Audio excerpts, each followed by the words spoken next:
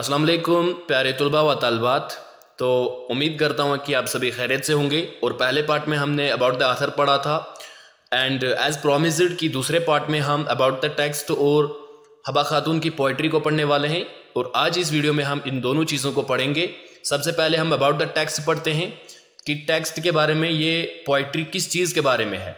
हबा खातून ने ये जो पोइट्री कही है, ये किस चीज़ के बारे में कही है, उसको थोड़ा सा समझते हैं। उसके बाद हम पोइट्री पे चलते हैं। तो अबाउट द आथर आपने हबा खातून के बारे में अच्छे से समझा होगा, मैंने आपको पढ़ाया। मुझे उम्मीद है कि आपने अच्छे से वो याद रख लिया होगा, हबा खातून की थोड़ी सी बायोग्राफी का आपको पता चल गया होगा। तो चले, ज़्यादा टाइम ना लेते हुए हम स्टार्ट करते हैं आज की वीडियो को। तो about the text each instant your separation preys on me चाने फिराके चम गैर गैरे articulates the sorrow of suffering at separation from the beloved चूँकि आप जानते हैं कि हबा खातून ने ये पोइट्री कश्मीरी लैंग्वेज में लिखी थी। चैन फिराक चम गैर गरे। लेकिन बाद में इसको ट्रांसलेट किया गया each instant your separation preys on me हर लम्हा आपकी जुदाई मुझे खा रही है, हर लम्हा आपकी जुदाई मुझे बेबस कर रही है। हबा खातून की ये पोइट्री हबा खातून की ये पोइम चाहे फिरा के छम, गैर गरे। या आप कह सकते हैं each instant your separation preys on me ये हबा खातून को अपने महबूब से जुदाई के दुख को बयान करती है। Following the form of a typical vatsun which is divided into a number of stanzas ending with a refrain called वज this vatsun has seven three line stanzas each followed by refrain which is the second line of the opening two line stanza Habba Khatoon की यह poetry Watson की typical form को follow करती है और divide की गई है नंबर ऑफ़ स्टेंजाज में। और हर कोई स्टेंजा एंड होता है एक रेफरेन के साथ जिसको वॉज़ कहा जाता है। ठीक है, रेफरेन का मतलब होता है कि एक ऐसी लाइन पोइम के अंदर जो रिपीट होती है हर स्टेंजा की आखिरी लाइन। ठीक है आप अभी हम जब पोइट्री पे जाएँगे तो हर किसी स्टेंजा की आखिरी वाली लाइन जो होगी, वो सेम होती है, वो रिपीट होती है, उसको वोज कहते हैं।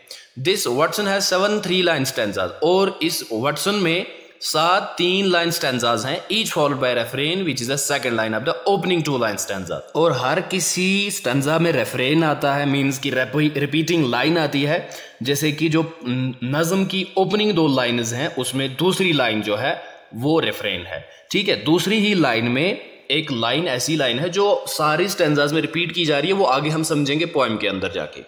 As compared to her other lyrics this one is more solemn tone The poet reflects on the ephemeral nature of things and the transcendence of human life.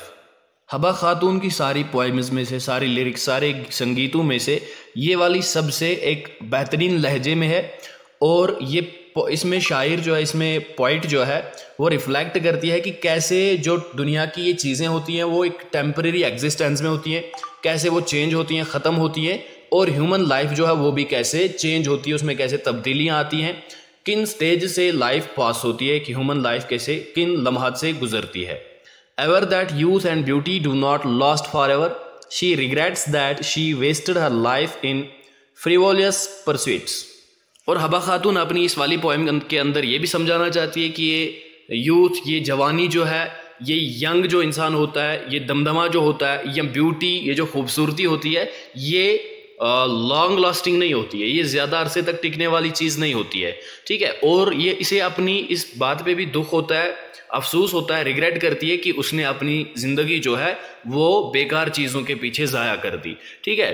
फ्रीवोलियस परसुइट्स का मतलब होता है, बेकार चीज़ें या मतलब वो ऐसे काम जिनका कोई फ़ायदा ही ना हो। फजूल काम। Haba Khatoon usually foregrounds the appeal of the physical in her poems But here she shifts her attention to the degeneration that accompanies the physical. हवा खातून, खासकर अपने इन शारों में, इन गीतों में एक तबीयत कशिश को बयान करती है, पेश करती है। लेकिन यहाँ पे वो अपने इस अटेंशन को शिफ्ट कर रही है और वही यहाँ पे फ़िज़िकल का दिखा रही है कि कैसे फ़िज़िकल अपीयरेंस जो है इंसान की वो चेंज होती है टाइम गुजरने के साथ साथ। Youth gives way to the old age vigour turns into infirmity and the body ultimately perishes Haba Khatoon यहाँ पे इस पॉइंट में ये कहती है कि यूथ जो होता है, जो जवानी होती है, मजबूती, ताकत जो होती है, वो रास्ता देती है ओल्ड एज को। मतलब इंसान फिर बूढ़ा हो जाता है और वेगर टर्नस इनटू इन्फिनिटी इसका मतलब होता है कि जो ताकत होती है, वो कमज़ोरी में बदल जाती है। ठीक है? जो हिम्मत होती है, वो कमज़ोरी को रास्ता देती है। और बला आखिर फिर बॉडी जो होती है इंसान की टोटली वो फना हो जाती है, वो ख़त्म हो जाती है पेरिश हो जाती है। Aware the poet insist that it is only by facing the challenge trials and tribulations of life that self realization becomes possible और शायर का ये कहना है कि ये सारी चीज़ें, ये ओल्ड एज ये कमज़ोरी, ये बॉडी का फना हो जाना, ये क्यों होता है? क्योंकि बहुत सारे चैलेंज बहुत सारी ट्रायल्स ट्रिबुलेशन बहुत सारी परेशानियों का सामना करना पड़ता है कि इंसान को ताकि वो सेल्फ रियलाइजेशन को पॉसिबल बना सके, अपनी खुदशनासी को वो मुमकिन बना सके। One who has not been tested by life has live to no avail और शायर का ये भी कहना है कि जिसने लाइफ की टेस्टिंग नहीं की लाइफ की परीक्षा नहीं की इम्तिहान नहीं लिया ज़िंदगी का तो उसका ज़िंदा रहना किसी काम का नहीं है। Aware of the in inevitability of death the poet makes an appeal to the divine to ferry her across to safe shores और हबा खातून अपने रब से, अपने महबूब से ये कहती है कि जो ये अनविटेबल डेथ है अनअवॉइडेड भी आप कह सकते हैं मतलब जिसको हम रोक नहीं सकते, हमारा कंट्रोल जिसके ऊपर नहीं रहता है, उसके बाद हमें महफूज साहिलों पे पहुंचाना मतलब कि जन्नत फराहम करना।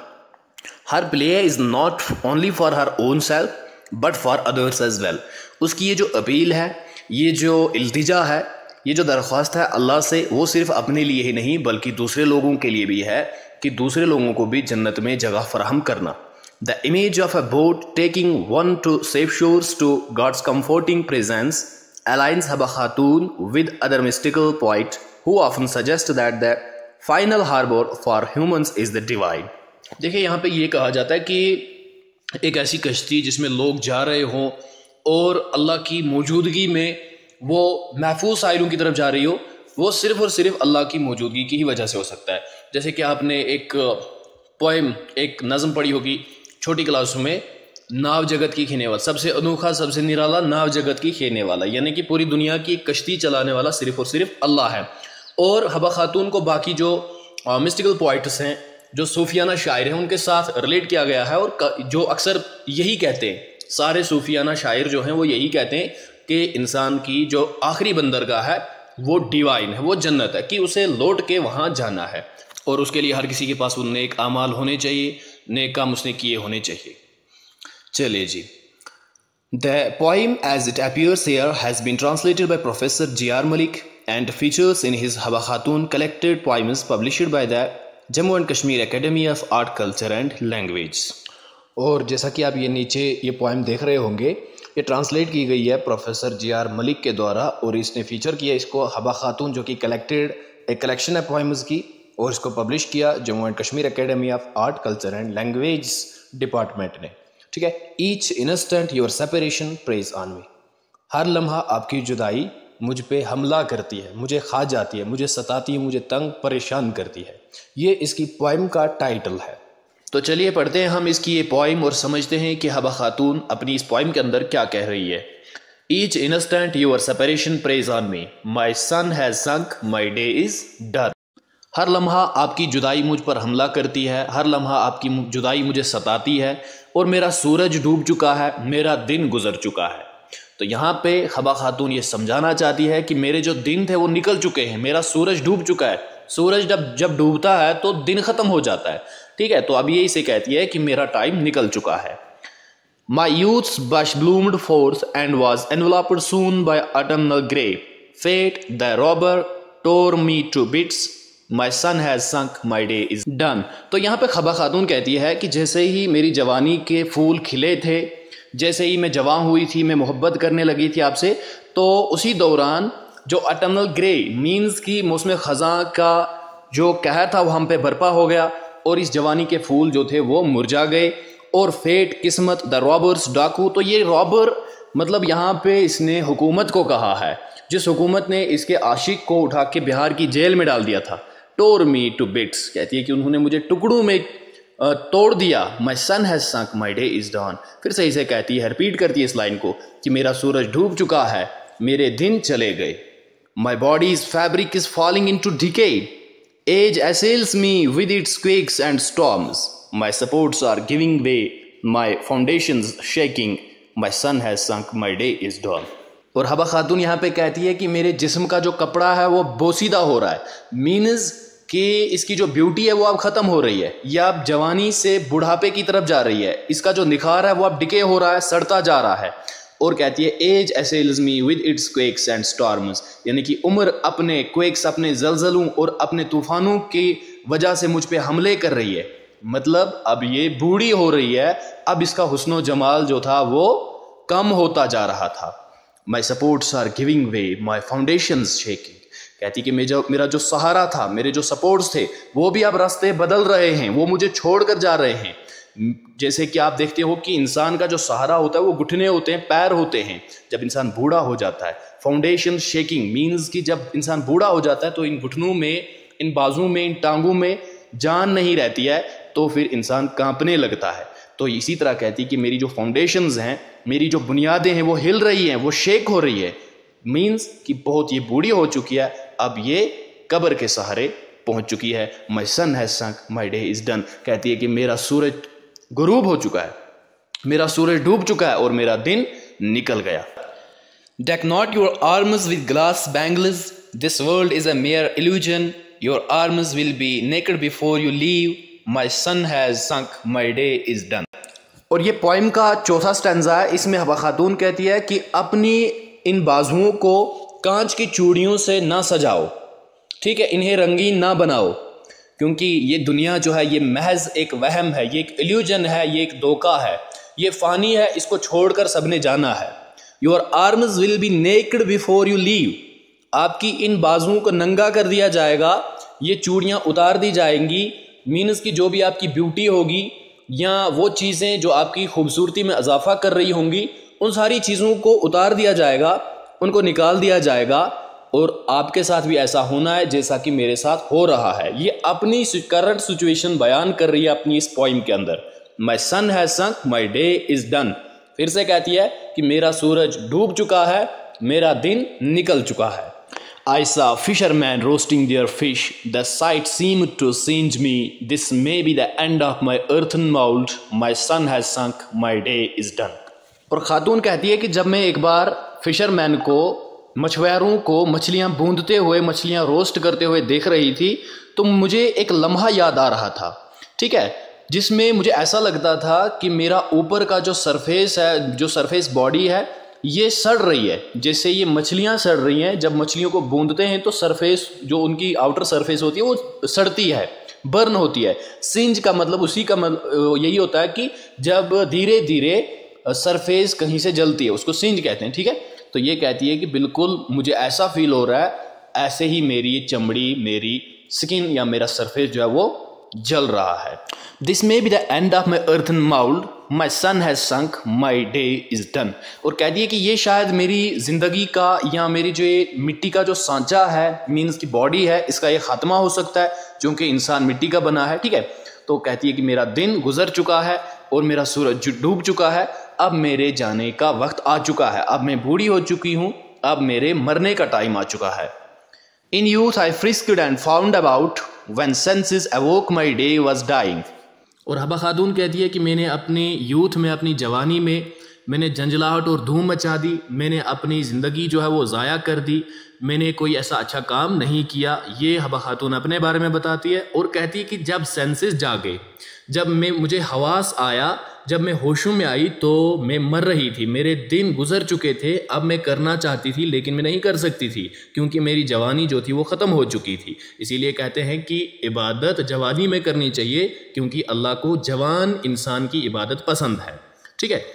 In haste I try to set my shop but ah too late my sun has sunk my day is done और कहती है कि मैं आप जल्दबाजी में, मैं हुजलत में अपनी दुकान लगाने की कोशिश कर रही थी क्योंकि मैंने मुझे पता था कि मैंने अपनी ज़िंदगी जो है ज़ाया कर दी है अब मैं सही तरीके से गुजारना चाहती थी, लेकिन दिन गुजर चुके थे टू लेट बहुत देर हो चुकी थी अब मैं कुछ नहीं कर सकती थी my sun has sunk my day is done iron is tried by hammer and anvil Try to know yourself through such a test. One who does not go through this trial is lost. My sun has sunk. My day is done. देखिए, हबा खातून फिर यहाँ पे कहती है कि लोहे को हथौड़े और एनविल के ज़रिए आजमाया जाता है।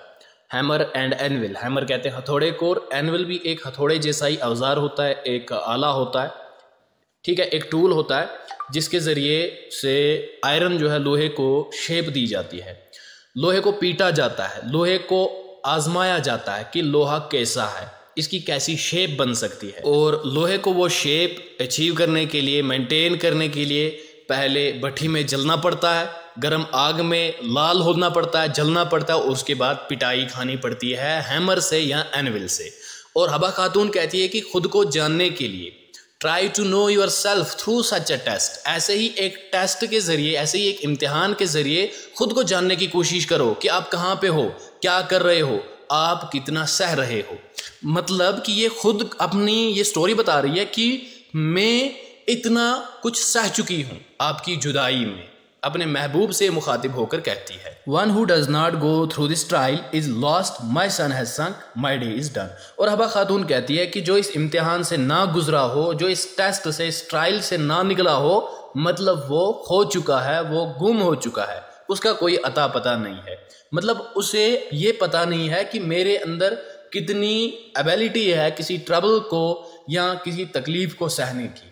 ठीक है? तो इस ट्रायल को, इस टेस्ट को हर किसी ने समझना होता है और हर किसी को अपनी लाइफ जो है वो आजमानी चाहिए। ठीक है? तो इसी तरह हबा खातून भी कहती है कि मेरा सूरज अब डूब चुका है, मेरे दिन निकल चुके हैं, मैं अब बूढ़ी हो रही हूँ, मेरा टाइम जो है वो गुजर चुका है। Haba Khatoon implores her lord send me such an ark of mercy which will ferry across the whole world my sun has sunk my day is done देखिए लास्ट वाले स्टैंडा में हबा खातून अल्लाह ताला के सामने गिड़ गिड़ आती है, अल्लाह ताला के सामने हाथ जोड़ती है, अल्लाह से दरख्वास्त करती है खुदा से, रब से कि send me such an ark of mercy कि मुझ पे एक ऐसी मर, ark of mercy ark means ये एक नाव थी, एक कश्ती थी, जो नूह सलाम ने बनाई थी अपनी फैमिली और बाकी जो लोग वहाँ पे थे, उनको बचाने के लिए जंगली सॉरी समंदरी जानवरों और समंदर के सैलाब से। वो उसकी आप अच्छे से डिटेल पढ़ सकते हैं गूगल सर्च आप मार के वहाँ से अच्छे से आप डिटेल में पढ़ सकते हैं, मैंने खुद वहाँ से पढ़ा है, ठीक है? तो ये, वो आर्क ऑफ़ मर्सी थी, लोगों को बचाया गया था उस उस नाव के ज़रिए से। हबा खातून भी रब से यही कहती है कि मुझ पर भी अब रहम करो। ठीक है इन शॉर्ट मैं आप, आपको ये समझाना चाहता हूँ कि अब हबा खातून अल्लाह से कहती है कि मुझ पर रहम फरमाओ। क्योंकि ये बहुत तंग आ चुकी थी, अपने महबूब की जुदाई इसे बहुत परेशान कर रही थी, बहुत तकलीफ़ दे रही थी, इसीलिए ये अल्लाह से कहती है कि send me such an ark of mercy which will ferry across the whole world जो मुझे पूरी दुनिया की सैर करा फेरी मीन्स कि समंदरी सैर करना, खूबसूरत जगहें देखना, ठीक है? तो मतलब कि ये अब आराम देखना चाहती है। वट डज दैट मीन कि आराम। अब ये अल्लाह से मौत मांग रही है ताकि इसे अपने महबूब की याद जो है वो और ज़्यादा ना सताए, ठीक है? तो मुझे उम्मीद है कि ये पोइम आपको अच्छे से समझ में आ चुकी होगी। About the text about the author हमने सब कुछ अच्छे से पढ़ लिया। अब अगर किसी भी तरह का कोई क्वेश्चन आपके एग्ज़ाम में पड़ता है तो मुझे उम्मीद है कि आप अच्छी तरह से उसका आंसर लिख सकते हो। मिलते हैं अगले वीडियो में, तब तक के लिए अल्लाह हाफिज़ और दुआओं में याद रखें।